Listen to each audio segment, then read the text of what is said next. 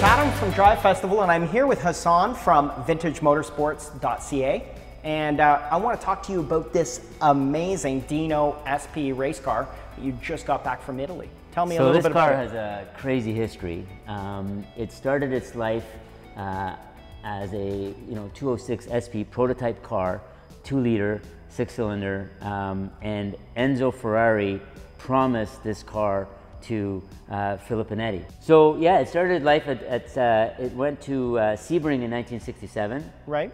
And then it went to Nürburgring in 1967, where at the practice uh, track, it basically was running, I think, they have it a few seconds behind the GT40, just like Wow. 1.6 seconds behind. That's amazing. The, the GT40. And that's a long lap. That's and this is a six-cylinder versus like you know Right. a, a 12-cylinder, five-liter engine. This is a Right. two-liter engine.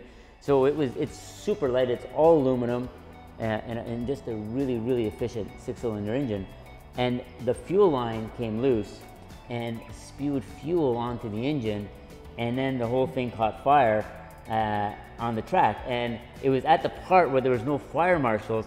So this is this is uh, Jean Guichet, who actually was in an, you know, I think he's won Le Mans, but he's raced in Le Mans, Yep. Florio, very famous driver, drove this car uh, for the Scuderia Filipinetti, and he just basically came out, watched the car burn, and what happened was the body melted off, but we have a letter from, from them, period, that the engine, the transmission, everything was there. It was burnt, as you could see. Right. These are actual parts of the car. The brake calipers actually melted, um, and Wow. uh, the crankcase and the pistons and everything was there. Steeped in history. Steeped in history. And charred. Charred, and and so to go back when I when I purchased the car in 2015, Ferrari had originally refused to Classic the car. Everybody thought this is a huge risk. And when I bought the car, I had another guy bidding against me, and my kid, my son, was holding my leg. He's like, "Dad, Dad, we got to get this." And I, you know, it's going up. The price is Oh, going up. man. We're bidding, and, and they're eating Smarties and popcorn, and there's color coming out of their face, and they're like, you know, six, eight, ten years old. And they don't understand how much They money they don't understand. And on the night before, on the napkin, we wrote the number that we can go to, plus the commission. So we had a number on the napkin, and we're like, okay, we can't go past this number. You went past it? So it went to the number I had, and then he put his hand up, Right. and I said, I put my hand up, and he looks at me. He says, "Your kids want this worse than I do." He goes, "It's yours." He backed out of the bidding. He said, Nice guy, actually. He says, "I want you to have it." Really? Yeah, he, he is. He's a He would have been nicer. multi-millionaire. He would have been nicer if he had stopped If he bidding had stopped a little earlier, bit yeah. So there's a little. I think the auction house had a little something to do with that. but we won't go there. Anyway, uh, when we got the car, I, it was way above what I had thought. So then I was in California. We had to mortgage the house. So I had to get my wife to sign the documents in California in front of a lawyer to get the Royal Bank to give me a mortgage. We mortgaged 85% of the house, took that money, and I only had seven days to, to give the money. Otherwise, they would have taken the car back. Right. Wire the money, mortgage the house, wire the money, get the title of the car within seven days in California. We're not home, right? Your wife is a wonderful person. My wife is, is she, She is and a I wonderful her, person I said, right to now, buy you- a Ferrari. I said, you own nothing. You don't own a house, and you don't even own a car because the bank owns the car. Right. So we have nothing. she said, that's okay. I know, you know. So I bought it in 2015. right. I got it certified in 2021.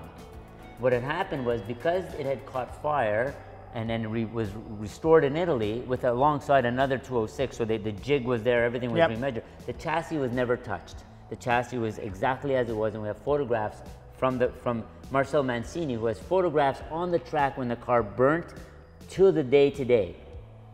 Anyway, Ferrari had refused the Classiche. I bought it, talked to them, said, listen, this is the real deal. They came in and did 100 samples of metal spectrometry, scraping the chassis, proved that metallurgically it's the same composition of their chassis for the 206, and it also was in a fire and got cold hardened by the fire. So they got all this data Right.